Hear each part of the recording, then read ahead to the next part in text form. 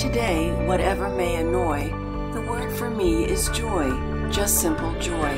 The joy of life, the joy of children and of wife,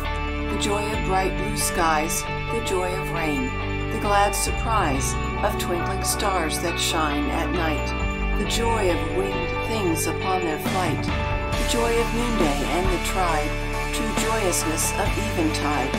the joy of labor and of mirth, the joy of air and sea joys that ever flow from Him whose vast beneficence doth dim the lustrous light of day and lavish gifts divine upon our way. Whate'er there be of sorrow, I'll put off till tomorrow, and when tomorrow comes, why then, then 'twill be today and joy again.